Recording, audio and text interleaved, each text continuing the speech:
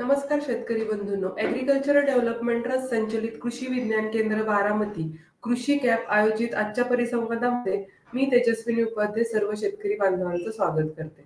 शेतकरी बंधूंनो सध्या वातावरण बदलामुळे शेतीसमोर मोठी आव्हाने तयार झाली आहेत.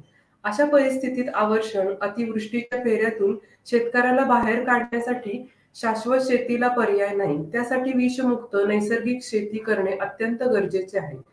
शेतकऱ्यांनी आपला उत्पादन खर्च कमी करून जमिनीचा पोत सुधारण्यावर भर दिला पाहिजे. या गोष्टी आपण नैसर्गिक शेतीद्वारे करू शकतो. याच अनुषंगाने आज आपण या परिसंवादादरम्यान नैसर्गिक शेती तंत्रज्ञान व फायदे याची सविस्तर माहिती घेणार आहोत. परिसंवादाचे मार्गदर्शन करण्यासाठी आपल्यासोबत आहे Shri Mahesh Jadhav sir farm manager agriculture development trust Baramati. तर सरांना मी विनंती करते की आजच्या परिसंवादाला सुरुवात करावी. धन्यवाद मॅडम. ॲग्रिकल्चर डेव्हलपमेंट ट्रस्ट संचलित कृषी विज्ञान केंद्र बारामती व कृषक ॲप यांच्या संयुक्त विद्यमाने आज आपण जो फेसबुक लाईव्हचा सेशन आहोत त्यामध्ये जो विषय आपण घेतोय त्यामध्ये नैसर्गिक शेती म्हणजे नॅचरल फार्मिंग त्याच्या अंतर्गत आपण त्याचे प्रिन्सिपल्स त्याचे बेनिफिट्स म्हणजे नैसर्गिक शेतीचे काय तत्व आहेत ते तत्व कोणते आहेत त्याचे फायदे का आहेत आणि ते का करणं आवश्यक आहे त्या अनुषंगाने आज आपण चर्चा करणार आहोत. मुख्य तुम्ही जर बघितलं तर केंद्र सरकारच्या जी आरच्या अनुषंगाने नैसर्गिक शेतीसाठी महाराष्ट्र शासनाने पुढाकार घेतलेला आहे. त्या अंतर्गत आपण बघतो की त्या अंतर्गत जिल्हा वाईज प्रशिक्षण आत्मांतर्गत जिल्हा वाईज प्रशिक्षण पण किंवा ट्रेनिंग आपण जे म्हणतो चालू झालेले आहेत.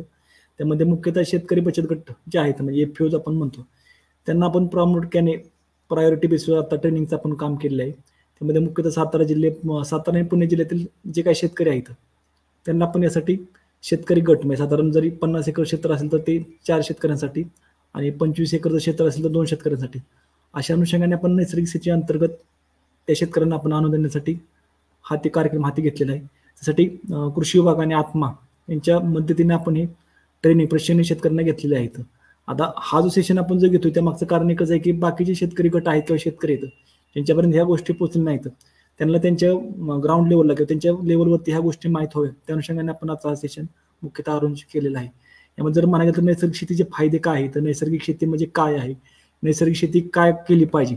आणि नैसर्गिक शेती जर आपल्याला करायची तर त्या अनुषंगाने आपण काम काय केलं पाहिजे? या अनुषंगाने आज आपण चर्चा करणार आहोत. मुख्यतः तुम्ही जर बघितलं तर सेंद्रिय शेती लोकांना बऱ्यापैकी माहिती आहे. त्या सेंद्रिय शेतीमध्ये काय गोष्टी कराव्या लागतात? कोणत्या गोष्टी पाळल्या पाहिजेत? सेंद्रिय शेती अंतर्गत रजिस्ट्रेशन किंवा जी आपण नाव नोंदणी आहे ती कशी केली पाहिजे? त्याचे भविष्यातील फायदे काय ते शेतकऱ्यांना आज बऱ्यापैकी माहिती पण त्याच्या विरुद्ध जर आपण विचार करायला गेलो तर नैसर्गिक शेती का गरजेची? आहे बरोबर कारण आज बऱ्याच लोकांना नैसर्गिक शेती म्हणजे कन्सेप्ट काय माहीत नाही किंवा नैसर्गिक शेती म्हणजे ह्यामध्ये नक्की घटक काय आहेत हे काय केलं पाहिजे? भविष्यातील नैसर्गिक शेतीचे फायदे काय आहेत? हे आज बऱ्याच अंश लोकांना या प्राथमिक गोष्टी माहीत नाही त्या अनुषंगाने आपण आजच्या शिक्षणामध्ये त्या गोष्टी पूर्णतः कव्हर करण्याचा प्रयत्न करणार आहे. जेणेकरून ग्राउंड लेवलचे जे शेतकरी आहेत ज्यांच्यामध्ये अजून नैसर्गिक शेतीमध्ये त्यांची इच्छा आहे किंवा रेसिडी रेसिडी फ्री फार्मिंग आपण म्हणतो विषमुक्त किंवा अंशमुक्त शेती. त्या अनुषंगाने काही शेतकरी प्रयत्न करत असेल तर त्यांच्यासाठी निश्चित हे फायदेशीर आणि महत्वाची अशी बाब बाब आहे. नैसर्गिक शेती बाबतीत जर म्हणायला गेलं तर मुख्यतः इंग्लिशमध्ये त्याला नॅचरल फार्मिंग किंवा निसर्गाच्या अनुषंगाने जी केली जाणारी शेती आहे निसर्गाला कोणत्याही प्रकारचा तोटा न होता निसर्गामध्ये उपलब्ध जे काही घटक आहेत त्यांच्या अनुषंगाने जी काही शेती केली जाते त्याला मुख्यतः नैसर्गिक शेती असं प्रामुख्याने म्हटलं जातं. आता हा जर कन्सेप्ट जर आपण जर बघितला एकोणीसशे पंच्याहत्तर साली हा कन्सेप्ट पहिल्यांदा अस्तित्वात आला. आज आपण बघतो की आज आपण दोन हजार चोवीसमध्ये आहे. एकविसाव्या जगामध्ये आहे किंवा एकविसाव्या एकविसाव्या शतकामध्ये आहे. मग आजच्या कंडिशनला ही नैसर्गिक शेती आपल्याला का करावं लागते? हे मुख्यतः आपण साली हा कन्सेप्ट आला. त्यावेळी जपानचे एक शास्त्रज्ञ होते. ज्यांचं नाव डॉक्टर फुकोका म्हणून आहे. ज्यांनी हा कन्सेप्ट आणला आणि हा जगापुढे मांडला किंवा नैसर्गिक शेती जर आपल्याला करायची तर आपण त्या दृष्टीने काय काय कामं केली पाहिजेत. त्यात मुख्यतः त्यांनी ज्या पाच प्रिन्सिपल्स किंवा जी काही महत्वाची पाच तत्वे सांगितली ते तुम्हाला थोडक्यात मी सांगतो. त्यातलं पहिलं जे तत्व आहे त्यामध्ये आपल्या शेताची मुख्यतः नांगरणी आपल्याला करायची नाही. आपलं जे क्षेत्र असेल लागवडीचं त्यामध्ये आपल्याला आपल्या शेताची नांगरणी कोणत्या प्रकारे करायची नाही. दोन नंबरला आपल्या शेतामध्ये कोणत्याही प्रकारची रासायनिक खतं आपल्याला वापरायची नाही आहेत जे काय आपण रेग्युलर रासायनिक खतं लागवडीसाठी असेल ट्रीटमेंट असेल फवारण्यासाठी आपण वापरतो ते वापरायची नाहीत. तीन नंबरला कोणत्या प्रकारची रासायनिक कीटकनाशकं बुरशीनाशकं म्हणजे आपण आपल्या शेतीसाठी रेग्युलरसाठी वापरतो ते पूर्णतः आपल्या शेतातून आपल्याला हद्दपार करायचं किंवा ती वापरायचीच नाहीत. चार नंबरला जर आपण म्हणाय गेलं ह्यामध्ये तुमचं जे काय तण आहे शेतामध्ये जे काय तण तयार होते ते तण तुम्ही आपल्या शेतातून जे आपलं मुख्य शेत असेल किंवा मुख्य पीक असेल त्यातून बाहेर काढायचं नाही. ते तण जागेवरती आपल्याला वापरायचं किंवा संपवायचं आहे. आणि पाच नंबरचं आहे त्याचं जे काही इकॉनॉमिकल इल्ड निघेल तेवढं फक्त त्या शेतातून बाहेर काढायचं. बाकी बायोलॉजिकल इल्ड आहे म्हणजे जे काय आपण बायोमास म्हणतो ते मुख्य त्या शेतामध्ये आपल्याला ठेवून त्याचं बायोमास किंवा त्याचं कुजवून त्याचं सेंद्रिय घटक आपल्या त्या जमिनीवर तयार करायचे आता तुम्ही जर पाच तत्व जर बघितली मग ह्यामध्ये आता तुम्ही जर विचार करायला गेला तर मुख्यतः आजच्या घरीला हे तत्व आपल्याला लागू होऊ शकत नाही. तेवढे त्यामध्ये फार तपवत आहे किंवा त्यामध्ये आपल्याला जर लागू करायची म्हणते तर बरंच आपल्याला काम करावं लागेल. मग त्याचा अनुषंगाने जर विचार करायला गेला हे तर तत्व आपल्याला आजच्या कंडिशनला वापरायचे. तर त्या मागचं कारण काय? ह्यामध्ये जर मुख्यतः आपण जर बघायला गेलो की आज कोणतेही उत्पादन घ्या त्यामध्ये आपल्याला काही ना प्रकार रसायनचा अंश आपल्याला मिळतो म्हणजे आज आपण जरी अंशमुक्त शेती जरी करत असलो तर काही ना काही प्रमाणात आपल्याला ते रसायन या ना त्या स्वरूपात आपल्याला आपलं जे काही फायनल इकॉनॉमिकल जे काय आपलं आर्थिक उत्पन्न आहे त्यावरती दिसत असतं. तसंच त्याचं साईड इफेक्ट्स आहे ते आपल्या जमिनीवरती. म्हणजे जमिनीचं आपण म्हणतो की थोडं सुपीकता कमी होणं किंवा जमिनीचं उपयुक्तता जिवंत माती आहे ते आपल्याला कमी झालेली असून दिसून येते. त्या अनुषंगाने आपल्याला नैसर्गिक शेती करणं गरजेचं आहे. आणि तीन नंबर म्हणजे इन्व्हायरमेंटल सेफ्टी म्हणजे आपल्या ज्या वातावरणामध्ये आता काही विविध प्रकारच्या अडचणी आपल्याला दिसत आहेत तसं जे आपण म्हणतो की आता नवीन प्रकारचे रोग आणि किडा असत येणं ग्लोबल वॉर्मिंगचे म्हणजे हवामान बदल किंवा वातावरण बदलाचे जे काही चॅलेंजेस आपल्याला दिसत आहेत ते जे आहेत ते मुख्यतः कमी करणं. त्या अनुषंगानं केंद्र सरकारनं हा प्रोजेक्ट हाती घेतलेला आहे. आणि ही जी पाच तत्व तुम्ही तुम्हाला सांगितली आता त्या अनुषंगाने आज आपण शेतकऱ्यामार्फत किंवा शेतकरी गटामार्फत हे काम चालू केलेलं आहे. मुख्यतः तुम्हाला जसं म्हटलं की हे कन्सेप्ट थोडा ह्या कंडिशनला लागू करणं आपल्याला थोडं जड जाणार आहे. पण शेतकऱ्यांनी प्रायोग तत्वावरती म्हणजे ज्यांच्याकडे क्षेत्र सपोज तीन एकर आहे चार एकर आहे त्यांना तर सुरुवातीला अर्धा एकर एक एकरवरती ही प्रयोग आता चालू करणं आवश्यक आहे. कारण भविष्याची ती गरज आहे येणाऱ्या काळामध्ये जर आपण बघितलं वेगळ्या प्रकारचे रोग किड आपल्याला दिसता येतं ग्लोबल वॉर्मिंगमुळे आपल्या शरीरामध्ये सुद्धा काही थोडेफार बदल आपल्याला दिसत आहेत. खाण्यामध्ये रासायनिक घटकांचा किंवा जो रेसिड्यू दिसत आहे ते जास्त सापडत आहेत. मग त्या अनुषंगाने जर आपण सुरुवातीला आपल्या प्रयोग तर आपल्या घरगुतीसाठी जरी वापरासाठी जरी नैसर्गिक शेतीला प्राधान्य दिलं तर निश्चित आपल्या कुटुंबापासून आपली आरोग्यदायक किंवा जे आपण सात्विक फूड म्हणतो ते आपल्या आहारामध्ये येईल आणि शेतकऱ्यांना त्याचा फायदा सुरुवातीला दिसून येईल तोच फायदा पुढे त्यांना जे काही बाकी त्यांचे कंज्युमर किंवा ग्राहक आहेत त्यांना सुद्धा चांगल्या प्रकारचं अन्न देऊन त्यांना त्याचा फायदा निश्चित करता येईल. आता ज्यावेळी आपण हे पाच तत्व सांगतो जर आपल्याला लागू करायचे असतील आपल्या शेतामध्ये जर आपल्याला तशा प्रकारचं काम चालू करायचं तर कोणत्या गोष्टी आपण प्रामुख्याने केल्या पाहिजे त्या संदर्भात आपण प्राथमिक चर्चा करूया. त्यामुळे तो महत्त्वाचा विषय तुम्हाला पहिला सांगितला. त्यामुळे तुम्हाला सांगितलं की आपली जमीन जी आपल्याला नांगरायची नाही पूर्ण जमीन आपल्याला तशीच ठेवून त्यामध्ये जमिनीची सुपीकता वाढवायची. आता बऱ्याच अंश आपण बघतो की आज काही जमिनी चोपन झालेले आहे काही नापीक झालेले आहे काहींची जमिनी जिवंत जिवंत म्हणतो आपण. त्याची मृत जमीन आपल्याला जास्त दिसायला लागले तशा कंडिशनला आपल्याला काळजी घेणं गरजेचं आहे की अशा कंडिशन जर आपल्याकडे असेल तर साहजिकच आपल्याला त्यात पहिला घटक म्हणजे आपल्याला पिकांची फेरपलट म्हणजे आपण जी बेवड पिकं म्हणतो त्या बेवड पिकांचं तंत्र तंत्रज्ञान आपण वापरलं पाहिजे. त्यामध्ये जर ऊसासारखं उदाहरण घेतलं तर ऊस पीक संपल्यानंतर लागण असेल खोडवा असेल किंवा निडवा मुख्य पिकात तुमचं काढायचं नियोजन झालेलं किंवा हार्वेस्टिंगचं प्लॅनिंग झालेलं आहे तुमचं तर तशा कंडिशन तुम्हाला त्या ठिकाणी ताग द्यांच्यासारखं पीक त्या जमिनीमध्ये गाडणं आवश्यक आहे. जेणेकरून त्या जमिनीनं जेवढं काही एक्झॉस्ट झालेलं आहे त्या पिकाद्वारे घेतलं गेलेलं आहे वाहून गेलेलं आहे पर्क्युलेट झालेलं आहे किंवा लिचआउट झालेलं आहे ते त्या ठिकाणी आपल्याला पुन्हा रिक्रिएट करता येईल. त्या ठिकाणी पुन्हा बिवट पिकामार्फत त्या ठिकाणची जमिनीची सुपीकता आपल्याला मेंटेन राखणं किंवा मेंटेन ठेवणं फायदेशीर होऊन जाईल. इव्हन त्यामध्ये जरी म्हटलं जेव्हा तुमचं मुख्य पीक निघून जाईल त्यावेळी ॲज अ मेन क्रॉप म्हणजे एक जे अडीच महिन्याचं आपलं जे हिरवळीचं पीक आहे त्याची लागवड करून तेच पीक त्या जमिनीमध्ये आपल्याला गाडणं आवश्यक आहे जेणेकरून त्या ठिकाणी आपल्याला ते सुपीक जमिनीसाठी आपल्याला थोडीफार मदत त्या ठिकाणी जमीन तयार करण्यासाठी आपल्याला फायदेशीर होईल. इव्हन ज्यावेळी तुम्हाला नांगरणी करायचीच नाही तर तशा कंडिशन तुमच्या मुख्य पिकाचे जे काही अवशेष आहेत त्यात जरी आपण जरी म्हणाय गेलं तर पहिले पिकाचं काही पालोपाचोळ आहे त्याचे काही पिकाचे अवशेष आहेत पिकाचा जमिनीखालचा भाग आहे तो आपण त्याच जमिनीमध्ये सोडणं आवश्यक आहे. जेणेकरून तेच जे काही अवशेष आहे ते जमिनीमध्ये चांगल्या प्रकारे कोजलं जाईल त्या ठिकाणी जीवनचा काउंट वाढला जाईल. आणि निश्चितच आपल्याला त्या जमिनीमध्ये एक सुपीक थर आपल्याला तयार झालेलं दिसून येईल. आता ह्या गोष्टी जर मानलं तर ह्या लगेच होणाऱ्या गोष्टी नाही त्याला एक साधारण आपल्याला चार ते पाच वर्षाचा कालावधी आपल्याला जाणं आवश्यक आहे. तशा अनुषंगाने आपल्याला आता पायलट प्रोजेक्ट पायलट बेसिसवर आपल्याला काम चालू होईल आपल्याला तर निश्चित आपल्याला येत्या चार ते पाच वर्षामध्ये ही जमिनीची सुपीकतापणा वाढलेली आपल्याला निश्चित दिसून येईल. त्या अनुषंगाने जमिनीमध्ये म्हणजे सेंद्रिय घटकाचं प्रमाण तुमचं ऑटोमॅटिक वाढलं. कारण आज बघतो की आपण बऱ्याच जमिनीमध्ये सेंद्रिय कर्बाचं प्रमाण हे अत्यंत कमी म्हणजे पॉईंट साठ ते पॉईंट ऐंशी अशा प्रमाणात ते प्रमाण आहे. पण तोच कर्ब आपल्याला वाढून साधारण अडीच ते तीन किंवा अडीच ते चारच्या निमित्त जर मिळाला साहजिक आपल्याला जमीन जी आहे आपल्याला नांगराची गरज त्या ठिकाणी लागणार नाही किंवा ती जमीन आपल्याला चांगल्या प्रकारे सुपीकी करता येईल. ह्यामध्ये आपण बघतो की झिरो मशागत झिरो मशागत तंत्रज्ञान म्हणजे शून्य मशागत तंत्रज्ञान किंवा झिरो टेलीज आज कन्सिडर बऱ्याच अंश शेतकरी भातामध्ये करतायत किंवा आपण जर बोरवेलला किंवा कोकण बाजूचा बरा भाग बघितला बऱ्यापैकी भाग. आज त्या ठिकाणी ही कन्सेप्ट असं यायला लागलेली की ज्यामध्ये भात शेतीमध्ये लोक गादी वापर करतायत. गाद्यापेवरती पीक न नांगरता त्याच ठिकाणी त्याच बेडवरती दुसरं पीक घेता म्हणजे जे पिकामध्ये काय अवशेष आहे पहिल्या पिकाचं सपोज भात जरी आपण उदाहरण घेतलं भात पिकाचं जमिनीखालचं जे काय औषध आहे ते त्या जमिनीमध्ये तसंच राहिलं जातं. आणि त्या ठिकाणी ते कुजवण्याचं काम तिथल्या उपलब्ध जीवाणूमार्फत म्हणजे त्याला साहजिकच आपल्याला वापसा ठेवणं आवश्यक आहे जेणेकरून जीवाणूचं काम त्या ठिकाणी चांगलं राहील. आणि त्या ठिकाणी वापसा असल्यामुळे ते कुजवण्याचं काम आहे ते जे काही अवशेष आहे ते चांगल्या प्रकारे कुजवलं जाईल. आणि एक सुपीक मातीचा थर आपल्या त्या ठिकाणी तयार झालेला दिसून येईल. आज आपण बघतो ज्यावेळी माती जर आपल्याला तयार करायची म्हटलं किंवा नैसर्गिक जर माती तयार करायची म्हटलं त्याला साधारण बावीस वर्ष एक इंच मातीचा लेअर तयार कराय तेवढा कालावधी लागतो. मग त्याच्या अनुषंगाने काही ना काही हातभार म्हणून आपण आपल्या कंडिशनला त्या ठिकाणी हे माती तयार करण्यासाठी आपल्या जमिनीमधलं जे काही पीक आपण हार्वेस्ट करतोय तर जे काही अवशेष आहे ते एकतर कुट्टी करून किंवा हाही त्या अवस्थेमध्ये आपल्या शेतामध्ये आपण जरी सोडून दिलं साहजिकच आपल्याला ते त्या ठिकाणी कुजवता येईल आणि चांगल्या प्रकारची जमिनीची लेअर तयार करणं आपल्याला त्या ठिकाणी तयार होऊन जाईल. आता ज्यावेळी आपण नैसर्गिक शेतीमध्ये हे प्रयोग चालू चालू करायला जातोय जसं मी तुम्हाला म्हटलं की याला टाइम कंझ्युमिंग हे लगेच चालू होणार नाही. कारण आपण रासायनिक खतं जर बघितलं तर आपल्याला काही तासामध्ये विदिन फ्रॅक्शन ऑफ हावर्स ते आपल्याला त्या ठिकाणी रिझल्ट हा दिसून येतो. पण सेंद्रिय शेतीमध्ये जर गेलं किंवा नैसर्गिक शेतीमध्ये जर म्हणा गेलं तर हे लॉंग ड्युरेटिव्ह म्हणजे टाइम कंझ्युमिंग अशी ही ॲक्टिव्हिटी आहे. त्यामुळे आपल्याला पायलट बेसिसवर आपल्याला काही ना काही स्वरूपात आपलं क्षेत्र ही ॲक्टिव्हिटी अंतर्गत रिझर्व करून त्या ठिकाणी आपल्याला अशा प्रकारे जर नैसर्गिक शेतीचा प्रयोग करायचा त्या ठिकाणी आपल्याला काम हे आत्ताच्या घडीला चालू करणं आवश्यक आहे. आता आता जो पहिला मुद्दा मी सांगितलं की आपल्याला जमीन नांगरायची नाही आहे मग त्या अनुषंगाने आपल्याला जमीनचं सुपीक थर तयार करणं आवश्यक आहे. त्या अनुषंगाने जे काही इनपुट्स लागत आहेत in the form of F म्हणजे शेणखत असेल गांडूळ खत असेल शेतातील पालापाचोळा आहे. Uh, त्या व्यतिरिक्त ग्रीन मॅन्युअरिंग क्रॉप्स म्हणजे हिरवळीची पिकं त्यांचा आपल्याला जास्त जास्त वापर करणं आवश्यक आहे जेणेकरून जो लेयर आपला जो आहे तो चांगल्या प्रकारे जमिनीत तयार होईल. आणि जमिनीची सुपीकता वाढवण्यावरती आपल्याला चांगल्या प्रकारे काम होऊन आपलं नांगरटीचा खर्च जो आपण म्हणतो तो टाळता येईल आणि चांगल्या प्रकारे आपल्याला नैसर्गिक शेतीला प्रोत्साहन देता येईल. आता त्यात दुसरा मुद्दा होता की कोणत्याही प्रकारचा रासायनिक खताचा वापर करायचा नाही. आता हे जर म्हणा गेलं तर रासायनिक खताचा जर आपण म्हणा गेलं तर नॅनो टेक्नॉलॉजी पिक पिका टेक्नॉलॉजी म्हणजे एकदम नॅनो ग्रेडच्या पुढे आज वर्षन्स आपल्याला खताची मार्केटला उपलब्ध आहेत. पण आपण म्हणतो की ते वापरायचेच नाहीच आता बऱ्याच अंश शेतकऱ्यांची ह्याला सुद्धा हे असेल अपूज असेल त्याला शेतकरी म्हणतील की बाबा ह्याशिवाय शेती शक्य नाही.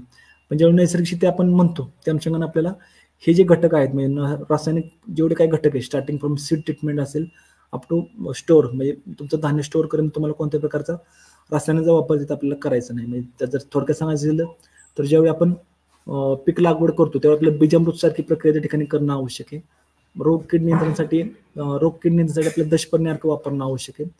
पिकाच्या न्यूट्रिशनसाठी त्या ठिकाणी आपल्याला जी ही आहे जीवामृत सारखी थेरपी आहे ती आपल्याला थेरी वापरणं आवश्यक आहे.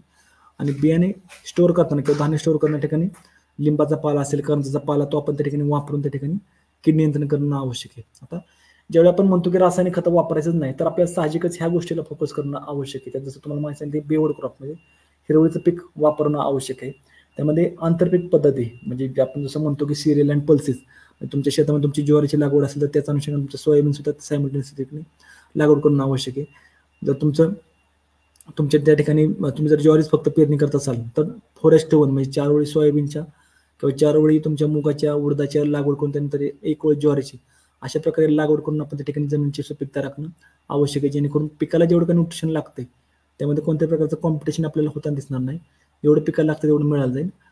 त्यानंतर शेणखताचा वापर. आपल्याकडे उपलब्ध असलेले जे काही गायी असतील त्यामध्ये देशी गाय आपण प्रामुख्याने म्हणतो कारण ते देशी गायचं जे शेण आहे ते आदर्श म्हणजे न्यूट्रिशन व्हॅल्यू हाय असलेलं असं शेणखत आहे. त्याचा वापर आपला साधारण पंधरा ते वीस टन एकरी आपण करणं आवश्यक आहे. जेणेकरून जमिनीत जेवढं काही आयडियल न्यूट्रिशन आपल्याला लागते ते त्या शेणखतामार्फत आपल्याला उपलब्ध होईल. तशा प्रकारचं शेणखत आपण वापरणं आवश्यक आहे. जीवामृताचा वापर म्हणजे फिल्टर स्लरी असेल किंवा जीवामृतची काही खतं आहेत. म्हणजे जीवामृत जर म्हणलं तर आपण देशी गायचं शेण आहे देशी गाईचं गोमूत्र आहे. ताक असेल ताक किंवा लस्सी सॉरी लस्सी नाही ताक किंवा दही असेल त्याचा वापर करणं आपल्याला आवश्यक आहे. गुळाचा वापर करणं आवश्यक आहे.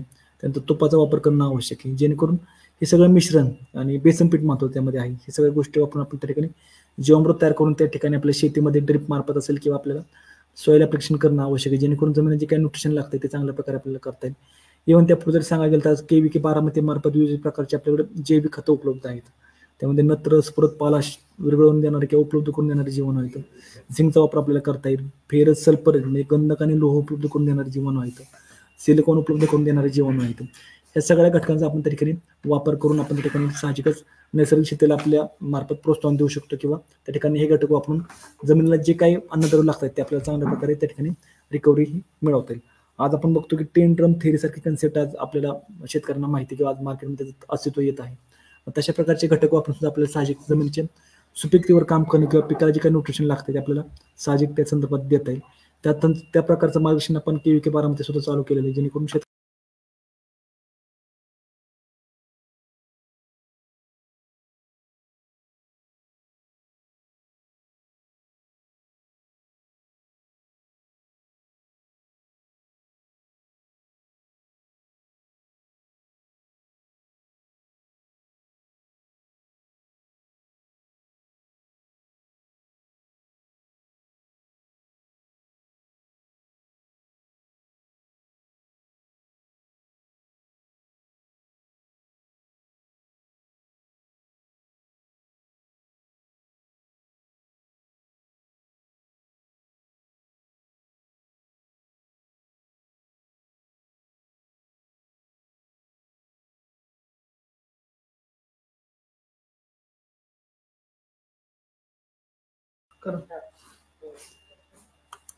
नैसर्गिक शेतीमध्ये आपण आता जी चर्चा करू त्यामध्ये दुसरा मुद्दा होता की आपल्या कोणत्या प्रकारचं रासायनिक खत वापरायचं नाही. त्या अनुषंगाने तुम्हाला मी आता सांगितलं की त्यामध्ये बीजामृतचा वापर आहे जीवामृतचा वापर आहे विविध जैविक खत आहे तर जैविक खतांचा वापर आहे तो आपण प्रामुख्याने करणं आवश्यक आहे. जेणेकरून आपण जे सुपिकतेसाठी आपल्याला जे काम करायचं कारण मुख्यतः नैसर्गिक शेती ज्यावेळी आपण विचार करतो त्यावेळी आपल्याला उत्पादन क्षमतेवर वापर न फोकस करता म्हणजे आपल्या किती उत्पादन पाहिजे त्यावर फोकस न करता आपल्याला सुपीकतेवर काम करणं आवश्यक आहे जेणेकरून जमिनीची सुपीकता मेंटेन राहील. आणि त्या अनुषंगाने आपल्याला येणाऱ्या काळामध्ये आपल्याला एक चांगल्या प्रकारचं उत्पन्न आपल्याला मिळेल.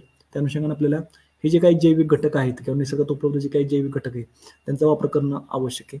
इव्हन आता आपण आज के व्ही के बारामती मार्फत प्रोम म्हणजे जे फॉस्पेटरीचे ऑर्गॅनिक मॅन्युअर आपण जे म्हणतो ते डीएपीला पर्याय म्हणून उपलब्ध आहे तर त्याचा आपण वापर करू शकतो. ज्या ठिकाणी तुम्ही डीएपी वापरताय. त्या ठिकाणी डीएपीचा जो काही खताचा भाग आहे तो त्याची रिकव्हरी करण्यासाठी किंवा त्याला पर्याय किंवा त्याला रिप्लेस म्हणून आपण प्रोम वापरू शकतो. इव्हन पीडीएम पोटॅश जे काही आपण एमओपी किंवा एसओपी ग्रेड्स वापरतो त्याला पर्याय म्हणून आपण जे काही आता पीडीएम पोटॅश मार्केटला उपलब्ध आहे पोटॅशची जी काही डिफिशियन्सी आहे किंवा पोटॅशचा पर्यायी सोर्स म्हणून आपण या पीडीएम पोटॅशचा वापर हे करू शकतो. जेणेकरून आपल्या जी काही पालाची कमतरता आहे किंवा जी काही गरज आहे शेताची असेल पिकाची आपल्याला ती रिकवर करता येईल. त्या अनुषंगानं ह्या जैविक खतांचा वापर होऊन आपल्याला आवश्यक आहे. आता तिसरा मुद्दा होता त्यामध्ये कोणत्या प्रकारचं रासायनिक कीटकनाशक किंवा बुरशीनाशक आपल्याला आपल्या शेतामध्ये वापरायचं नाही? आज आपण बघतो की ग्लोबल वॉर्मिंगच्या इश्यूमुळे आज बऱ्याच अंशी नवीन रोग किड म्हणजे जसं मक्यामध्ये लष्करी आहे हरभऱ्यात किंवा तुरीमधले गाठे आहे किंवा शेंगाळी आहे तशा नवीन रोग कीड आज मार्केटला आपल्याला दिसून येतात ज्यामध्ये जसं वातावरण बदलेल त्या अनुषंगाने ह्या रोगान किडींची आपत्ती किंवा आपल्याला त्याचा प्रचार प्रसार झालेला दिसून येतो. मग त्याला जर आपल्याला कंट्रोल करायचं असेल तर साहजिकच आपल्याला प्रायमरी बेसिसवर जरी म्हटलं तर मुख्यतः मशागत आहे मुख्य शेताची मशागत आहे आंतरमशागतीची कामं आहेत कल्चरल मेकॅनिकल प्रॅक्टिस जे आपण म्हणतो आणि आय पी एम प्रॅक्टिसेस त्या प्रॉपरली ते फॉलोअप करणं आपल्याला आवश्यक आहे जेणेकरून हे ज्या प्रॅक्टिसेस आहेत त्यामधून आपल्याला साहजिकच रोग आणि कीड नियंत्रण हे चांगलं करता येईल. आता ज्यावेळी आपण रोग आणि कीड हे नैसर्गिक ज्यावेळी कंट्रोल करायचं म्हणतोय तर आपल्याला त्यावेळी पहिला प्रयत्न किंवा पहिलं प्लॅनिंग हे करणं की आपल्याला एकात्मिकवर कसं काम करता येईल. तर तुम्हाला मी सांगितलं की मेकॅनिकल म्हणजे मशिनरीचा वापर असेल सेकंडरी कल्चर म्हणजे शेती मशागतीचा पर्याय असेल थर्ड नंबर बायोजन्स म्हणजे जे काही जैविक कीटक आहेत उपयुक्त कीटक आहेत त्यांचा वापर आहे. ह्या सगळ्या गोष्टी आपल्याला त्या ठिकाणी करणं आवश्यक आहे. जेणेकरून आपल्याला जे काही आपण रोग नियंत्रणासाठी जे काही प्लॅनिंग करतो ते आपल्याला त्या ठिकाणी ह्या आय पी एम तंत्रज्ञानाचा फायदा घेऊन आपल्याला चांगल्या प्रकारे आणि लवकरात लवकर हे करतात कारण साधारण जरी म्हटलं रोग आणि किडीची जी स्टार्टिंग बाजू किंवा स्टार्टिंग जो आहे तो आपला मुख्यतः आपल्या शेतामध्येच होत असतो. म्हणजे आपल्या शेताचे बांध असतील आपल्या शेताच्या बांधावरची काही झाडे असतील त्यामध्ये बोरीचे असतील बाबेचे असतील त्या झाडावरती आपल्याला प्रामुख्याने रोगकीडीचा आपल्याला प्रादुर्भाव दिसून येतो. तो जर आपण कंट्रोल केला तर आपल्या मुख्य शेतामध्ये जे काही पीक आपण लागवड करतोय ॲज इकॉनॉमिकल क्रॉप म्हणून तर त्याला आपल्याला काही प्रमाणात आपल्या त्या ठिकाणी सुरुवातीलाच रोग आणि कीड नियंत्रण करून आपल्याला पिकाचं उत्पादन हे चांगलं आणि आयडियल असं हे घेता येईल. तेव्हा तुम्हाला जसं पर्याय सांगितलं त्यामध्ये पहिलं कल्चर म्हणजे जमिनीची वेळोवेळी आणि खोल चांगली नांगरट करून त्या ठिकाणी आपण सुरुवातीला रोपणी नियंत्रण करतो. पण आत्ताच्या कंडिशनला आपले बांध आपल्याला मुख्यतः स्वच्छ करायचे झाडावरची जी काही आपल्या बांधावरची जी काही झाडं येतात त्याची टाईमली प्रुनिंग म्हणजे उन्हाळ्यामध्ये आपण बघतो की शक्यतो ह्या झाडाची फांद्याची छाटणी करायची. म्हणजे ज्यावेळी पावसाळा चालू होतो त्यावेळी काही रोपकडे आपल्याकडे पुन्हा सुट्टावसून बाहेर निघणार त्यांचं जे काही पुन्हा होणारं रिप्रोडक्शन नाही किंवा त्यांचं पुन्हा नवीन पिढी तयार होणार आहे त्याचा आपल्याला त्या त्या ठिकाणी चेक किंवा त्याचा आपल्याला कंट्रोल हा मिळवता येईल. मेकॅनिकलमध्ये आपण म्हणतो की त्या ठिकाणी आपल्याला वरचेवर त्या ठिकाणी जे काही त्याचं मशागत आहे म्हणजे जसं आपण हातकोळपणी म्हणतो हातकोळपणी म्हणतो तशी कामे करून जी काही आपली रोगकीड आपल्या शेतामध्ये दिसत आहे त्याचा वेळोवेळी आपल्याला त्याचं सॅनिटेशन म्हणजे जे आपल्या शेतामध्ये ते बाहेर काढून त्या ठिकाणी त्याचं मॅरिनेट करणं आपल्याला इझी होऊन जाईल. आणि तिसरा महत्त्वाचा म्हणजे त्या ठिकाणी जैविक कीटकनाशक आणि जैविक बुरशीनाशकांचा आपल्याला त्या ठिकाणी वापर करणं आवश्यक आहे. आता आपण बघतो की मार्केटला व्हरायटी ऑफ औषधं आपल्याला आहेत. म्हणजे तुमच्या कोणत्याही प्रकारचा रोग असू द्या कीड असू द्या जैविक कीटकनाशक जैविक बुरशीनाशक आपल्याला मार्केटला उपलब्ध आहे त्यातलं उदाहरण जरी द्यायचं झालं म्हणजे ट्रायकोटोमासारखी जैविक बुरशी आहे जी तुमच्या कोणत्या प्रकारचा बुरशीजन्य रोग आहे त्यामध्ये मर असेल पानावर टिपका असेल कर्करोग असेल त्यासाठी आपल्याला कंट्रोल करण्यासाठी तो फायदेशीर आहे. डाळिंबावरचं तेल रोग जरी म्हटलं तरी बॅसिलस सारखे आपल्याकडे ते स्पेसिस आहेत किंवा जेवणजन्य स्पेसिस आहेत ज्याचा वापर करून आपल्याला जैविक कीड रोग नियंत्रण आपल्याला करता येईल. किडीच्या बाबतीत जरी म्हणायला गेलं तर मेटरायझम नावाची मेटरायझम नावाची जैविक बुरशी आहे ज्याच्या मार्फत आपल्या शेतातील हुमणीचा जरी प्रॉब्लेम असेल तो आपल्याला कंट्रोल करता येतो. पेसिलोमायसिस नावाची जैविक बुरशी आहे ज्यामध्ये पेरू असेल डाळिंब असेल मिरची वर्गी पिकं असेल ज्यामध्ये सूत्रकृमी किंवा नेमॅटोडचा प्रॉब्लेम जास्त आहे त्याला आपल्याला कंट्रोल करून आपल्याला फायदेशीर दिसून आलेलं आहे. इवन व्हर्टिसिलियम म्हणजे पिटेडेकोन आपण जो म्हणतो म्हणजे तुमचा सीताफळ असेल पेरू असेल नारळ असेल तशा पिकावर जो पिटेडेकोनचा प्रॉब्लेम आहे त्याला जर आपल्याला कंट्रोल करायचा असेल तर ठिकाणी वर्सियम लॅकिन वर्टिसिलियम लॅकिन नावाची काही जैविक बुरशी त्याचा आपण वापर करू शकतो. हे जे काही प्रकार आहेत म्हणजे रोग असेल कीड असेल आला पर्यायी आपल्याला जैविक कीटकनाशक जैविक बुरशीनाशक आज उपलब्ध आहेत. नैसर्गिक शेतीमध्ये जर आपण यांचा वापर केला तर आपल्याला सगळ्या प्रकारचे रासायनिक कंट्रोल करून किंवा त्यांचा रासायनिक कीटकनाशकांचा बुरशीनाशक वापर न करता ही जरी आपण वापरलं तर आपल्याला साहजिक त्या ठिकाणी जैविक रोग आणि कीड नियंत्रण चांगलं हे करता येईल. इव्हन त्या त्या दिशेने जरी म्हणायला तर आज तुम्हाला सांगितलं की कामगंध सापळे आहेत चिकट सापळे आहेत सूर्यप्रकाशावर चालणारे सापळे आहेत. ज्यामध्ये अंतर्गत आपल्याला म्हणजे कामगंध सापळे जरी म्हटलं जेवढे काही प्रकारच्या फळमाशे आहेत. म्हणजे संत्रा असेल आंबा असेल मोसंबी असेल पार पेरू असेल अशी काही फळं येतात त्याच्यावरचं जे काही फळमाशीचा प्रॉब्लेम आपल्याला दिसून येतो की भाजीपाल्यामध्ये कारला आहे टोमॅटो आहे वांगा आहे इवन वेलवर्गीमधला काकडे आहे दोडका आहे उदिवा आहे. यावरली जी काही फळमाशी ते आपल्याला साहजिकच या कामगंध सापळ्यामध्ये आपल्याला कंट्रोल करता येईल. चिकट सापळ्याच्या बाबतीत जर म्हणाल तर मार्केटला निळे चिकट सापळे आहेत पिवळे आहेत पांढरे चिकट सापळे आहेत. त्याचा वापर करून आपण पिकामध्ये येणारे विविध रशोषक किडे आहेत. त्यामध्ये मावा असेल तोडतोड असेल पांढरे माशी असेल in the form of thrips असेल जॅसिड्स असेल ॲपिड्स असतील व्हाईट क्ले असतील हे आपल्याला त्या चिकडच्या आपल्या मार्फत साहजिकच आपल्याला कंट्रोल करता येईल. आणि इव्हन शासनामार्फत आपण बघतो की ऊसामधली जरी हुमणी जरी म्हटली तरी शासनामार्फत आपण उन्हाळ्यामध्ये बघतो त्यावेळेस पावसाळी हंगाम चालू व्हायला लागतो उन्हाळ्याच्या शेवटी. शासनामार्फत शेतकऱ्यांच्या शेतावरती फील्ड आहे किंवा प्रत्यक्ष घेतले जाते त्यामध्ये हुमणी जर आपल्याला प्रोट पकडायचे किंवा त्यांना कंट्रोल करायचं आहे ते कारखाना असेल कृषी विभाग हा शेतकरी शेतावर कार्यक्रम राबवत असतो. त्यामध्ये हुमणी जर असेल म्हणजे प्रोड जर आपल्याला ट्रॅप करायचे असेल पकडून पकडून मारायचे असेल तर त्या अनुषंगाने आपल्याला काय ॲक्टिव्हिटी केली पाहिजे? त्यामध्ये सौर सूर्यप्रकाश किंवा लाईटीचा वापर. प्रकाश आपल्या आपण जे म्हणतो ते आपण शेतावरती इन्स्टॉल करून आपल्या शेतामध्ये जे काय होणारे हुमणीचा प्रॉब्लेम असेल ते भोंगेरी पकडून आपण त्या ठिकाणी भोंगेऱ्याची किंवा हुमणीची पुढची पिढी जागेवरती थांबू शकतो. तशा प्रकारचे प्रकाश सकाळी आपलं सुद्धा त्या ठिकाणी शेतामध्ये वापरून आपण त्या ठिकाणी ह्या हुमणीचं जे काय भोंगेऱ्याचं नियंत्रण करू शकतो. आता ह्या जी तीन गोष्टी मी सांगितल्या ह्या तुम्ही साहजिकच आयडियलरित्या करू शकता त्याला असणारे रिसोर्स आपल्याकडे उपलब्ध आहेत. म्हणजे चौथ्यामध्ये म्हणजे विचार करतो आपण की तण जे आहेत आपल्या शेतातील तण आपल्याला मारून तिथंच गाडायचे आणि आज आपण बघतो की विविध प्रकारचे तणनाशक आज मार्केटला आहे तर लोक बऱ्यापैकी खोरपणीवर फोकस करतात. बरोबर आहे कारण हे टाइम कंझ्युमिंग असं असल्यामुळे लोक तणनाशकाचा वापर आपल्याला करणं फायदेशीर होतं. पण त्याच्या विरुद्धांगाने जर म्हटलं जर आपल्याला शेतामधलं तण बाहेर काढायचंच नाही आपल्या शेतामध्येच काढायचं तर तशा कंडिशनला आपल्याला त्या लेबरचा वापर करून किंवा छोटे हँड ऑपरेटिंग मशिनरीज आहे त्यामध्ये हँड म्हणजे हातकोळपे आपण जो म्हणतो ते आपण साहजिक वापरू शकतो. दोन नंबरला बैल कोळपं आहे. बैलकोळप्याचा वापर करून आपण त्या ठिकाणी त्याचं तणाचं नियंत्रण करू शकतो. तीन नंबरला हँड विडिंग म्हणजे हात कोळपणे हा हात खुरपणे त्याचा वापर करून आपण त्या ठिकाणी तण नियंत्रण करू शकतो. ह्या गोष्टी करताना आपण प्रामुख्याने काळजी काय घेतली पाहिजे? कारण आपण बघतो की पिकानुसार आज बऱ्या प्रकारचे तण आपल्याला शेतात दिसून येतात. त्यामध्ये नॅरो लिव्ट आणि ब्रॉड लिव्ट म्हणजे रुंद पानाचे आणि लांब पानाचे तण आपल्याला मुख्यतः आपल्या शेतामध्ये आढळून येतात. फक्त यामध्ये आपण काळजी घ्यायची जेव्हा आपण तण नियंत्रण करतोय म्हणजे जेव्हा नैसर्गिक शेतीला आपण प्राधान्य देतो त्यामध्ये आपण एक गोष्ट प्रामुख्याने लक्षात घेतली पाहिजे ज्यावेळी तण नियंत्रण आपण करणार आहे त्यावेळी जे आपलं तण असेल ते साहजिकच दोन पानावरती आपल्याला असणं आवश्यक कारण त्यापुढे जर आपण तण नियंत्रणासाठी खर्च करायला गेलो तर आपल्याला खर्च हा जास्त लागतो. त्यामुळे तणनाशकाचा वापर आपण करणार नाही. पण जरी केला तर त्याचा खर्च अपेक्षेपेक्षा जास्त असतो. पण ज्यावेळी लेबरचा आपण करतो त्यावेळेचा हा खर्च आपल्याला निश्चित वाढलेला असतो. तशा अनुषंगाने जे काही दोन पानावरची जी काही तण आहे त्याला मग इपिमेरल स्वीट्स म्हणतात. किंवा दोन पानावरती त्याचा नष्ट करणं आपल्याला काळजी घेणं किंवा नष्ट करून त्या ठिकाणी मारणं आवश्यक आहे. तर तशा कंडिशनला आपण जर तण नियंत्रण केलं तर साहजिक आपल्याला जी काही नैसर्गिक शेतीयंत्र जी काही तणाचा जो काही वापर आपल्याला करायचा आहे किंवा तणाचा उपयुक्त वापर ठिकाणी वाढवायचा तो अशा प्रकारे करता येईल. ह्यातनं प्रत्येक काळजी आपल्याला घ्यायची की जी काही तण आपल्या शेतामध्ये निघते ते जागेवरती कोल म्हणून आपल्याला त्या ठिकाणी सोडणं आवश्यक आहे. म्हणजे आपण हातकोटमध्ये बघतो की हातकोट काल चालवताना आपलं जे काही तण आहे ते कोळप्यामध्ये अडकलं जातं तिथून निघालं जातं. तसंच आपल्या शेतामध्ये जेव्हा खुरपणी आपण करतो ते तण आपल्या शेतामधून काढून त्या जागेवरती तिथं सोडणं आवश्यक आहे. म्हणजे जमिनीमध्ये तण उपटून ठेवून त्या ठिकाणी आडवं ठेवायचं. जमिनीमध्ये कोणत्या प्रकारचं मुळं ते राहिले नाही पाहिजे. मग तशा प्रकारची जी काही तण जागेवरती वाढतील त्या ठिकाणी साहजिक त्याचे आपल्याला दोन फायदे होतात म्हणजे एक तर आपलं तण नियंत्रण होतं दुसरं जर त्यामध्ये पर्याय जर आपण त्याचा जर आपण विचार केला तर तण जे आहे ते ते जागेवरती पुजलं जातं. त्यातलं जे काय अवशेष आहे ते त्याच जमिनीमध्ये पुन्हा मिक्स केलं जातं. त्याचा फायदा आपल्याला दिसून येतो की जी तण नियंत्रण झाल्यामुळे साहजिकच जो मुख्य पिकाचा तणावर कोणत्याही प्रकारची स्पर्धा राहत नाही. त्यामध्ये अन्नासाठी स्पर्धा असेल पाण्यासाठी असेल किंवा त्या ठिकाणी हवेसाठी स्पर्धा. ह्या तिन्ही स्पर्धा त्या ठिकाणी जागेवरती थांबल्या जातात. पण मुख्य पिकाचं तुमचं वाढ ही चांगली राहते. म्हणून त्या ठिकाणी तण नियंत्रणामुळे त्या ठिकाणी जे काही विविध रोग आणि किडे येते जे तुमचे होस्ट क्रॉप म्हणजे तुमच्या मुख्य पिकाव्यतिरिक्त तुमच्या तणावरती जे काही रोग किडे वाढतात त्याला आपल्याला चांगल्या प्रकारे नियंत्रण मिळवता येतं. इवन हे जे तण नियंत्रण केल्यामुळं जमिनीतलं जे काही न्यूट्रिशन आहे ते पिकाला चांगल्या प्रकारे वापरण्यासाठी आपल्याला त्या ठिकाणी ते नियंत्रण किंवा त्याचा उपयोग झाला दिसून येतो.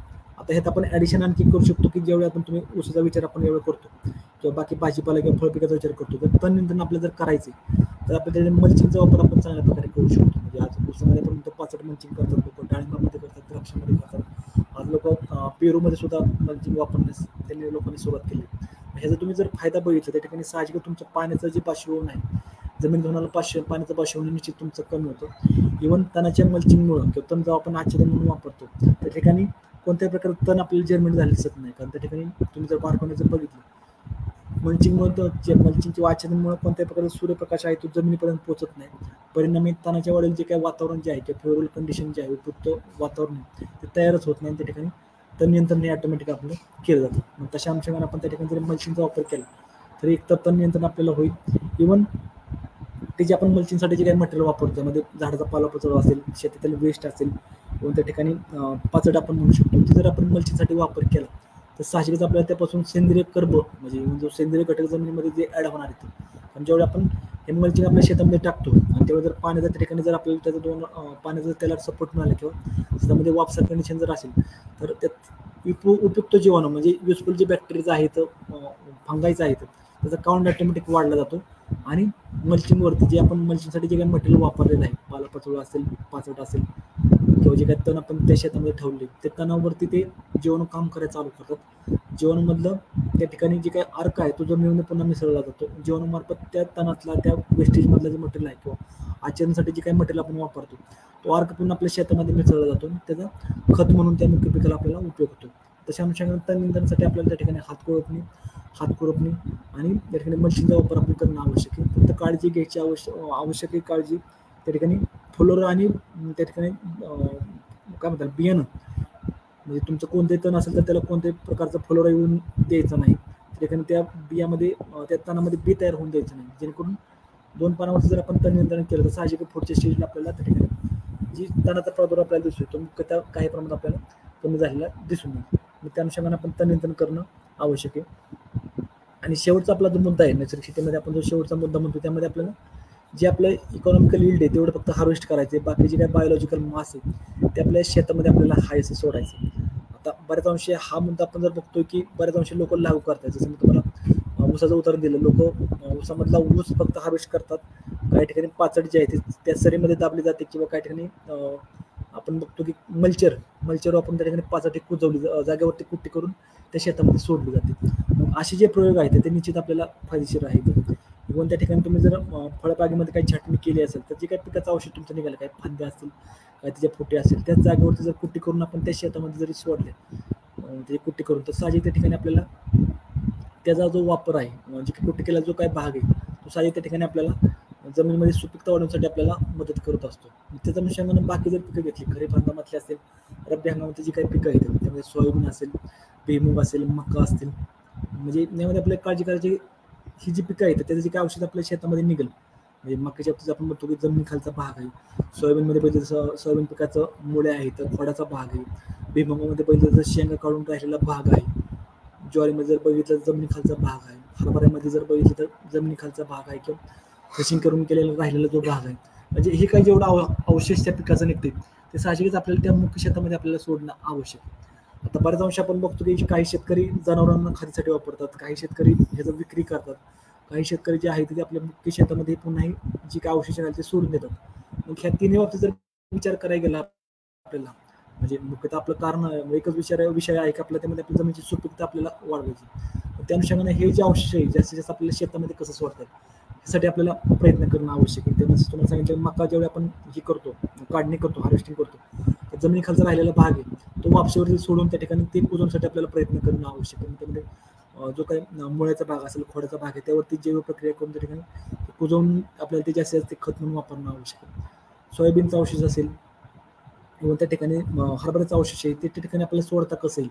त्याचसाठी आपला प्रयत्न केला पाहिजे. म्हणजे ज्यावेळी आपण हार्वेस्टिंग किंवा आपले पीक काढण्याला तयार झाले तशा कंडिशनला हे जे राहिलेलं अवशेष आहे मुख्य मुख्य पिकाचे ते जास्तीत जास्त आपल्या शेतामध्ये सोडण्यासाठी आपल्याला प्रयत्न करावा लागेल. म्हणजे त्यामध्ये आपल्याकडे टेक्निकल थोडं स्वतः लक्ष घालून ते अवशेष पूर्ण शेतामध्ये युनिफॉर्म कसं आपल्याला सोडता येईल त्यामध्ये पिकामध्ये जमिनीमध्ये वापसा कंडिशन ठेवून या वापशामार्फत हे जे पीक आहे तो हे राहिलेलं औषध आहे त्यावरती जैव प्रक्रिया जास्त कशी करता येईल यासाठी शेतामध्ये वापसा कंडिशन टाकणं असेल जीवाणू खताचा किंवा कंपोस्ट कल्चरचा वापर आपल्याला करणं आवश्यक आहे. जेणेकरून त्या सर्व म्हणजे काय आयुष्यावरती एकसारखी जीवनमार्ग प्रक्रिया चालू होईल. तसं विघटनमुक्त शेतामध्ये आपल्याला चांगलं झालं दिसून येईल आणि त्यामध्ये पण जमिनीची सुपीकता वाढण्यासाठी आपल्याला त्याचा निश्चित फायदा हा घेता येईल. आता ज्यावेळी आपण मुख्य पिकाला काढणी केल्यानंतर ह्या गोष्टीचा विचार करतो तर प्रामुख्याने आपल्याला त्या ठिकाणी एक गोष्ट लक्षात घेणं आवश्यक आहे की हे जे अवशेष आपण शेतामध्ये सोडतोय हे मुख्यतः आपलं रोग आणि किडी जास्तीत जास्त प्रमाणात असणं आवश्यक आहे. कारण आज जर आपण औषध जर सोडणार त्या शेतामध्ये जसं सोडणार असो तर त्यावरती रोग आणि किडीचा प्रादुर्भाव असेल. साहजिक तुमच्या मुख्य पिकाला किंवा जे पुढील पीक आपण लागवड करणार आहे त्याला आपल्याला हानी झालेली दिसून येते किंवा त्यावरती ह्या रोग आणि किडीचा प्रादुर्भाव आपल्याला दिसून येतो. परिणामी आपलं अपेक्षित जे उत्पन्न आहे ते आपल्याला काही प्रमाणात कमी झालेलं दिसून येते. तशा कंडिशनला आपल्याला एक काळजी घेणं आवश्यक आहे. हे जे अवशेष आहे ते औषध जे असेल त्या शेतामध्ये सोडताना एकतर रोगमुक्त किडमुक्त आणि कुजेल अशा कंडिशनला म्हणजे पूर्ण शेतामध्ये एकसारखं पसरून तर मग पाण्याचा वापर त्या ठिकाणी जे जेवण खताचा किंवा कंपोस्ट कल्चर जे कुजवणारे जेवण आहेत. पालापाचोळा कुजवणारे जेवण आहेत. त्याचा वापर आपल्याला करणं आवश्यक आहे. जेणेकरून जे आपण शेतामध्ये औषध सोडले ते चांगल्या प्रकारे एकसारखं कुजव आता ह्या ज्या पार गोष्टी आहेत म्हणजे तुम्हाला आता मी पाच तत्वे सांगितले. ह्या पाच तत्वे जर आपण आपल्या शेतामध्ये प्रामुख्याने बारीकपूर्व विचार करून जर फॉलोअप केला किंवा त्याचे जर आपण आपल्या शेतामध्ये फॉलोअप करून जर आपण वापरायला चालू केली तर साधारण चार ते पाच वर्षामध्ये आपण निश्चित म्हणू शकतो की आपल्या शेतामध्ये काही ना काही बदल आपल्याला दिसून येऊ शकतील. कारण जर थोडक्यात सांगायचं गेलं तरी एका वर्षामध्ये आपल्याला लगेच हे फरक दिसून येणार नाही तिथं कारण आपण बघतो की आपल्या जमिनीवरचा लोड हा दिवसेंदिवस आपल्याकडून वाढलेला आहे. म्हणजे आपण जे जमिनीकडून उत्पादनाची अपेक्षा आहे ती आपल्याला जास्त आहे. त्या अनुषंगानं त्या जमिनीला जे काही इनपुट्स लागत आहेत का? म्हणजे त्यामध्ये सतरा प्रकारचे विविध प्रकारचे अन्नद्रव्य आहेत. जमिनीचं सामोर राखणं असेल जमिनीची सुपीकता राखणं असेल जमिनीमध्ये हानिकारक घटकांचं प्रमाण कमी करणं असेल जमिनीमध्ये क्षारता कमी करणं असेल जमिनीमध्ये सेंद्रिय कर्पाचं प्रमाण वाढवणं असेल ह्या गोष्टी आपल्याला फोकस करून त्या ठिकाणी आपल्याला जमिनीची सुपीकता ही वाढवावी लागेल. त्या अनुषंगाने काही इनपुट्स लागतील. त्याचं प्रोक्युरमेंट म्हणजे आपल्या केविके बार बारामती मार्फत माती तपासणी तुम्ही करून त्यामध्ये जमिनीमध्ये कोणते घटक कमी आहेत जास्त आहेत कोणत्या प्रकारे जैविक खतांचा वापर केला पाहिजे कोणत्या प्रकारचे जीवन वापरले पाहिजे ते तुम्ही जाणून घेऊ शकता. नैसर्गिक शेतीच्या अनुषंगाने उपयुक्त मित्र कीटक मित्र कीटक किंवा मित्र किडी कोणकोणते आहेत? त्याची उपलब्ध कोणत्या ठिकाणी आहेत त्या ठिकाणी माहिती कोणत्या मित्र किटकीचा प्रचार किंवा प्रसार आपल्या शेतामध्ये करू शकता? विविध प्रकारचे खतं उपलब्ध करून देणारे जेवण आहेत. त्यामध्ये जसं तुम्हाला सांगितलं की एन पी के नंतर स्फुरत पालाश आहेत. नंतर म्हणजे जरी म्हणाले म्हणा गेलं तर कडधान्य वर्गीय पिकासाठी वेगळं आहे. ऊसवर्गीय पिकासाठी वेगळं आहे. तुमच्या तृणधान्य पिकासाठी वेगळं आहे. तशा वेगळ्या प्रकारचा जेवणाचा वापर आपण आत्तापासून चालू करणं आवश्यक आहे. स्प्रोत पोटॅश मोबिलायझिंग बॅक्टेरिया आहे किंवा फॉस्फेट सोलिबिलायझिंग बॅक्टेरिया आहे P S B K M B ह्याचा वापर आपल्या शेतामध्ये आपण उपलब्ध किंवा त्याचा वापर करणं आवश्यक आहे. मित्र कीटक आहेत मित्र किडे आहेत चिकट सापळे आहेत त्याचा वापर आपल्याला शेतामध्ये करणं आवश्यक आहे. म्हणजे ज्या नैसर्गिक शेतीला अनुसरून जे काही गोष्टी आहेत त्याचं मुख्यतः आपल्या मार्फत आपण काम चालू केलं आहे. त्याचा प्रचार प्रसार आपण के मार्फत चालू केलं आहे. जर प्रात्यक्षिक प्लॉट आपण त्या ठिकाणी चालू केला आहे ह्या गोष्टी सगळ्या आपण विचारात घेऊन त्या ठिकाणी नैसर्गिक शेतीसाठी आपल्याला प्रयत्न करणं आवश्यक आहे जेणेकरून आपल्याला विषमुक्त कीडमुक्त जे काय अन्न आहे ते आपल्याला तयार करता येईल. त्या ठिकाणी त्या शेतकऱ्यांना उत्पादन करून त्याला चांगल्या प्रकारचं मार्केट रेट किंवा त्यांच्या गटामार्फत त्याची विक्री शेतकऱ्यांना करता येईल आणि चांगल्या प्रकारचं इन्कम त्या ठिकाणी आपल्याला हे तयार करतो गटामार्फत इन्कम तयार करून त्या ठिकाणी त्यांना साहजिकच पुढच्या भविष्यासाठी त्याची मदत होऊ शकते. मग ह्या अनुषंगाने आपण जर आत्तापासून जर काम केलं तर निश्चितच शेतकऱ्यांना नैसर्गिक शेतीच्या अनुषंगाने जे काही फायदे येतं ते दिसून येतील. कारण हे जर नंतर लगेच फरक दिसून येणारी प्रक्रिया नाही. त्याला काही कालावधी आपला जाणार आहे. त्या अनुषंगाने आपलं जे क्षेत्र असेल जसं मी तुम्हाला म्हणतो तुमचं पाच एकर असू किंवा चार एकर असलं त्यातला थोडा भाग का होईना पाच दहा टक्के आपण घरगुती. तुम्ही जर ग्रुपमध्ये शेती करत असाल तर साहजिकच तुम्हाला एक दोन एकरवरती काम करणं आवश्यक आहे. पण काही शेतकरी इच्छुक असतील स्वतः वैयक्तिक लेवल त्यांना हे काम चालू करायचं त्यांची तुम्ही पाच गुंट दहा गुंठ्यावरती आता हे काम चालू करा. तुम्हाला येणारा रिझल्ट हा लगेच नसेल पण काही क्षण जर रिझल्ट आला तर तो निश्चित तुमच्या म्हणजे आहारामध्ये म्हणजे तुम्हाला सात्विक फूड त्या ठिकाणी मिळेल. कोणत्या प्रकारचा जो भाजीपाला तुम्ही हार्वेस्ट करताय त्यामध्ये रोग आणि किडीचं प्रमाण कमी राहील. त्यामध्ये जैविक घटक वापरल्यामध्ये त्याची गुणवत्ता म्हणजे चव असेल त्याची वास किंवा सुगंध आपण म्हणतो त्याची न्यूट्रिशन व्हॅल्यू चांगली तुम्हाला त्या ठिकाणी मिळालेली असेल. आणि आहार तुमचं एक सात्विक फूड आल्यामुळे तुम्हाला निश्चित त्या ठिकाणी जे होणारं रोग जे रोग आहेत जे बहुयामी किंवा बहुवर्ष रोग आहेत शुगर असेल बी पी असेल इव्हन कॅन्सरसारखे आजार आहेत ते काही ना काही प्रमाणात आपल्याला हे कमी करता येतील आणि आपल्या जो काही डेली लाईफ आहे आपलं किंवा जो आपला जीवनाच्या दृष्टीने जे काही उपयुक्त घटक आहेत किंवा उपयुक्त सुविधा आहेत उपयुक्त नॉलेज आहे त्याचा वापर करून तुम्हाला त्या ठिकाणी निश्चित फायदा हा घेता येईल. आता मित्रांनो हे जे आपण आता नैसर्गिक शेतीच्या अनुषंगाने जे काही तंत्रज्ञान तुम्हाला सांगितलं जे काही फायदे तुम्हाला सांगितले ह्या अंतर्गत आपण केवी बारामतीमध्ये प्रशिक्षण सुद्धा शेतकऱ्यांना घेतलेले येतं पण त्या व्यतिरिक्त अजून कोणाला काही त्याबद्दल शंका असेल अजून कोणाला काही जाणून घ्यायचं असेल माहिती घ्यायची असेल तर निश्चित तुम्ही केवी की बारामतीशी कनेक्ट व्हा. किंवा कृषी ॲप सुद्धा तुम्ही याच्यामध्ये तंत्रज्ञान मार्गदर्शन घेऊ शकता. आणि येणाऱ्या काळामध्ये आपल्या शेतीमध्ये नैसर्गिक शेतीचा चांगल्या प्रकारे प्रचार व प्रसार जर तुम्हाला करायचा असेल तुम्हाला आत्तापासूनच काम करणं आवश्यक आहे. ज्यामध्ये तुमची सिजनल पिकं असतील म्हणजे खरीप हंगामातली असतील रब्बी हंगामातली असतील उन्हाळी हंगामातली असतील त्या अनुषंगाने काय कामं केली पाहिजेत त्याचं तुम्हाला तंत्र मार्गदर्शन दिलं जाईल. फळ पिकासाठी तुम्हाला नैसर्गिक शेतीचं आत्तापासूनच काम चालू करायचं आहे त्यामध्ये रेसिडी फ्री तुमचा भाजीपाला रेसिडी फ्री तुम्हाला फळ उत्पादन करायचं आहे किंवा चांगल्या प्रकारचा ग्रेडचा माल तुम्हाला तयार करायचा आहे तर त्या अनुषंगाने नैसर्गिक शेतीमध्ये काय केलं पाहिजे त्यासंदर्भात तुम्हाला मार्गदर्शन केलं जाईल. इव्हन त्या ठिकाणी तुम्ही जे ऊसासारखं पीक तुम्ही म्हणताय कॅश क्रॉप आपण जे म्हणतो त्यामध्ये केळी असेल इव्हन कापूस असेल ऊस असेल त्या पिकामध्ये तुम्हाला एक नैसर्गिक शेतीअंतर्गत चांगल्या प्रकारचं उत्पादन तुम्हाला घ्यायचे त्या अनुषंगाने कोणतं काम केलं पाहिजे किंवा कोणत्या गोष्टी आपण प्रामुख्याने पाळल्या पाहिजेत कोणती तत्वे आपण आत्मसात केली पाहिजे संदर्भातले जे काही गायडन्स तुम्हाला लागते ते सुद्धा तुम्हाला यामार्फत किंवा की बारामती कृषी कॅपच्या वेस्टमार्फत तुम्हाला दिलं जाईल. त्यामध्ये कोणत्या प्रकारची फीस तुम्हाला घेतली जाणार नाही त्यामध्ये फ्री ऑफ कॉस्ट तुम्हाला कन्सल्टिंग केलं जाईल. त्या अनुषंगाने काही शेतकऱ्यांनी जरी स्वतः इच्छा असेल किंवा शेतकरी जरी इच्छुक असेल तर त्यांना आपण या ठिकाणी नक्कीच मार्गदर्शन आपण करू शकतो. त्याच्या अनुषंगानं जर आपण म्हटलं म्हणजे नैसर्गिक शेतीच्या अनुषंगाने तुम्हाला जी काही अजून शंका असतील किंवा तुम्हाला अजून काय जरी माहिती हवी असेल तरी आपल्याला हे व्यासपीठ तुमचं के के बारामध्ये कृषी कॅप हे व्यासपीठ तुम्हाला काय म्हटलं आहे. त्या संदर्भात तुमचं काही तंत्र तंत्रमार्शन जर तुम्हाला घ्यायचं तर नक्कीच तुम्ही या दोन व्यासपीठामार्फत तुम्ही नक्कीच तुमचा हा फायदा हा करून घ्या. यामध्ये मला वाटतं कोणाच्या काही शंका नसेल तर आजचं सेशन आपण या ठिकाणी संपवू शकतो.